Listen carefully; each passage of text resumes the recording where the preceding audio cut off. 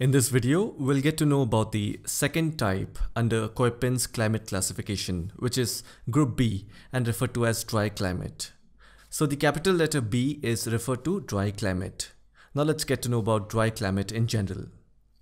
Now regions that have dry climates, they receive very low rainfall. And I think that's obvious because dryness is associated with less rainfall. But keep in mind there is low rainfall. I'm not saying zero rainfall. Okay, keep that in mind. So naturally if rainfall is less, then growth of plants will be low. That means vegetation cover of forest will be less. Now where do we find these kind of places on earth?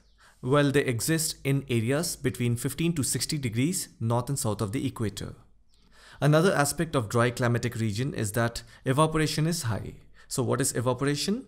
It is the transformation of water molecules into water vapor with the help of sun's energy.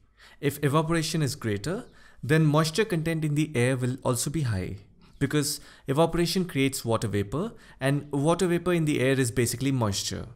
Now usually if a region has high evaporation, then it leads to cloud formation due to condensation and that leads to rainfall. However, in dry climatic region, annual evaporation rate is much higher than precipitation. That means the sun's energy soaks up all the moisture from the ground. But on the flip side, rainfall is very low. I just want you to keep in mind precipitation is low but not zero. And I'll give you example of that when we get to know about the divisions and subdivisions under dry climate. So dry climate is divided into arid and semi-arid regions. So arid means completely dry, where there is severe lack of water and semi-arid is partial dry, where rainfall is very low.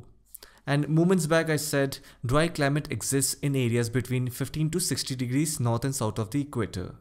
And if you see this region is also called as mid-latitude.